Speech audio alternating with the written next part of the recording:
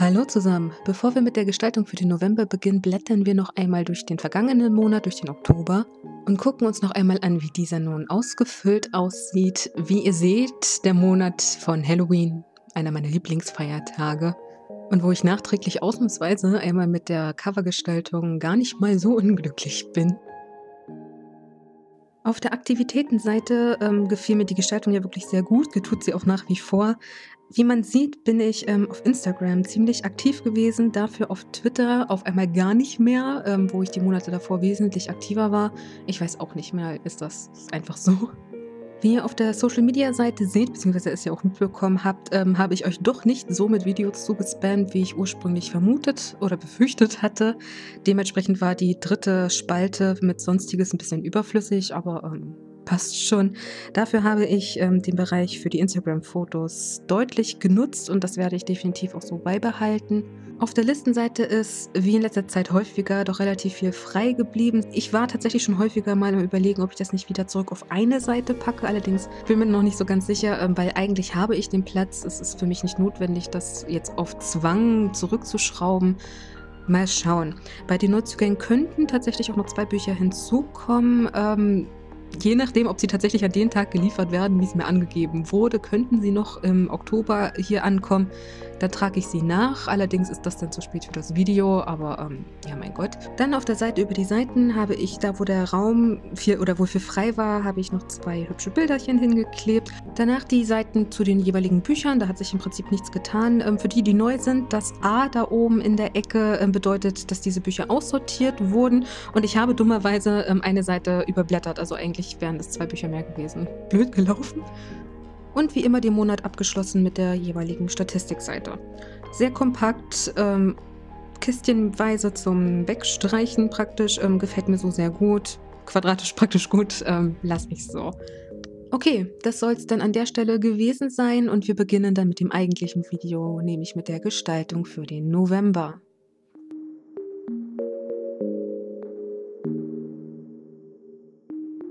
Ich weiß gar nicht, wie genau es dazu gekommen ist, aber irgendwann bin ich dazu übergegangen, den Monatsnamen ein bisschen tiefer zu setzen, als es genau die Hälfte der Seite wäre. Ich bin auch eigentlich gar nicht so glücklich damit. Ich weiß nicht, warum ich das mache. Vielleicht sollte ich daran mal wieder was ändern. Ähm, vielleicht liegt es also so ein bisschen daran, äh, dass die hinteren Monate von, den, von der Länge des Wortes einfach lang, lang sind. Und äh, ja, also November äh, passt gerade so hin. Dummerweise ergibt es sich dadurch, dass oben und unten da relativ viel Platz bleibt, obwohl ich eigentlich auf die Coverseite ja sonst nur noch das Jahr und so einen Minikalender mit hinmache. Dafür ist dann ein bisschen zu viel Platz eigentlich, ähm, wodurch die 2018 sehr, sehr prägnant auf dieser Coverseite ist. Eigentlich fast, fast prägnanter als ähm, der Monatsname selbst, aber okay. Ähm, für den November ist jetzt wieder eigentlich sollte es Mintgrün sein. Es ist mehr ein helles Grasgrün, wenn ihr mich fragt, aber sei es drum. Jetzt wieder an der Reihe. Passend zu dem Farbthema habe ich mir dann ähm, wieder Bilder bei Pinterest zusammengesammelt. Übrigens, alle Bilder, die ihr hier in diesem Video seht oder generell, die ich für das Book Journal benutzen, habe ich ähm, zusammengetragen auf Pinterest. Ich packe euch da mal einen Link in die Infobox, wo ihr dann zu dieser ja, Liste kommt. Da sind alle Bilder aufgeführt, die ich in diesem Book Journal verwendet habe oder noch verwenden werde. Die Ecken sind wie immer abgerundet.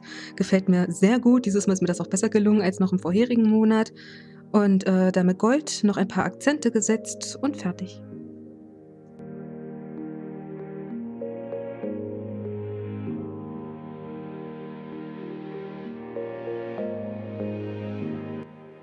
Dann zu der Seite über die Aktivitäten oder Tracker, wie man möglicherweise auch gerne dazu sagen möchte.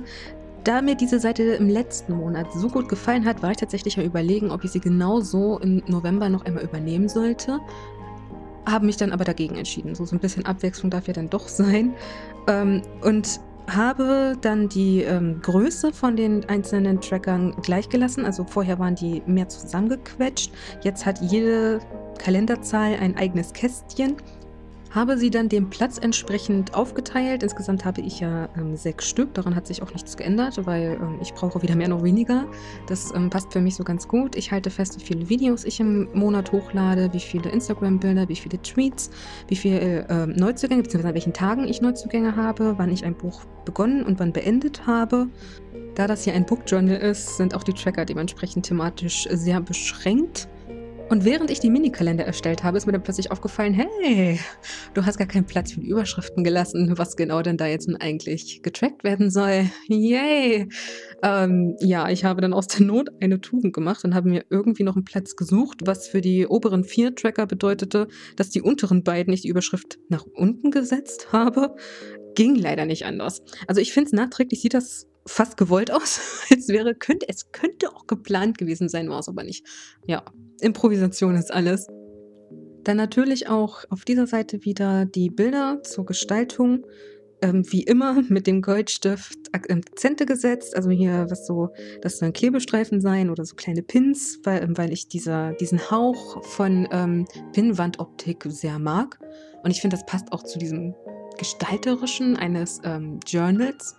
Und außerdem ist dieser Goldstift schon mal da. Also benutze ich ihn jetzt auch. Auf der Social Media Seite hat sich im Prinzip nicht gerade viel getan im Vergleich zum Vormonat, ähm, weil sich das für mich bewährt hat. Dementsprechend habe ich auch dieses Mal wieder ähm, meine YouTube-Videos aufgeschrieben, also bei meinen Upload-Tagen Dienstag und Samstag. Für den November werden diese bisher noch aktiv bleiben, wahrscheinlich auch für den Dezember. Darüber hinaus weiß ich noch nicht. Allerdings ähm, habe ich ähm, auf die, das dritte Kästchen verzichtet. Also ich hatte davor erst das gelassen für Ideen. Danach, ähm, wenn ich überschüssige Videos hatte, also mehr Videos als für die beiden Upload-Tage gedacht sind. Und das wird für den November aber nicht nötig sein. Dementsprechend habe ich nur diese beiden Zettelchen, also so soll das jedenfalls aussehen, ähm, in dem Videobereich darunter. Dann ähm, wieder ähm, für die Instagram-Fotos auch so, so ein bisschen Notizzettelartig und einfach, da schreibe ich einfach nur rauf, welche Bilder ich ähm, halt nacheinander gepostet habe. Während ich den benutze, schreibe ich davor, also vor diesen grünen kleinen Kreisen, meistens mit Bleistift auf ähm, den Tag, an dem diese ähm, Fotos dann gepostet werden sollen. Das ähm, macht mir dann das Plan einfach und schreibe dann halt natürlich in die Zeile dann mit Bleistift erst einmal hin, welches Bild ich plane dort zu posten. Und wenn es dann ähm, wirklich gepostet wurde, dann schreibe ich es mit Feinliner nach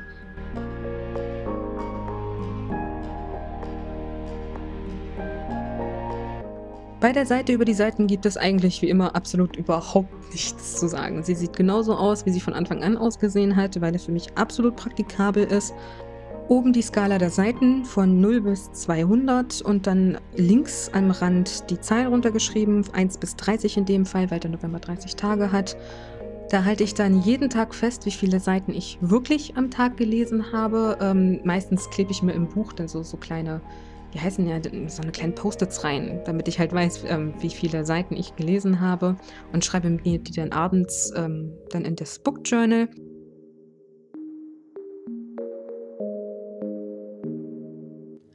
Dann zu der Doppelseite mit den Listen. Wie gesagt, eigentlich könnte ich es platzmäßig auch auf eine Seite packen ich habe aber keine Platznot und deshalb mache ich es nicht. stattdessen ähm, habe ich größere Bilder ausgedruckt, die mir auch wieder sehr gut gefallen haben. Also diese Doppelseite bekommt eigentlich fast immer die schönsten Bilder ab.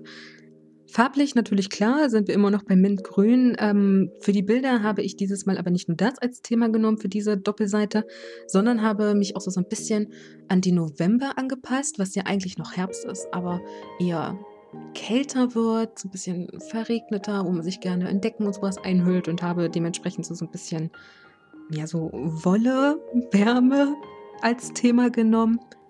Bei der Platzaufteilung bei den Neuzugängen und aussortierten Büchern passt das für mich auch so wirklich sehr gut. Bei der Wunschliste bin ich leider nicht ganz so happy, weil ähm, ich da dieses Mal tatsächlich nicht so viele für mich auf die Liste gesetzt habe. Also bei ähm, dem Video zu den ähm, vielversprechendsten Neuerscheinungen habe ich tatsächlich mehr vorgestellt, als ich jetzt hier nochmal nach intensiverem drüber nachdenken ähm, für meinen Book Journal eintragen werde.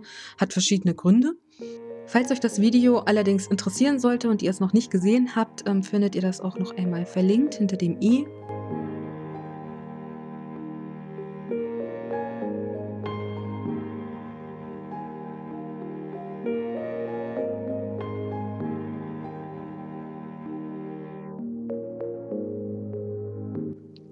Ja, und das war's dann für dieses Video auch wieder gewesen. Die Buchseiten ähm, zeige ich nicht mehr mit der Erstellung, weil das immer exakt das gleiche ist.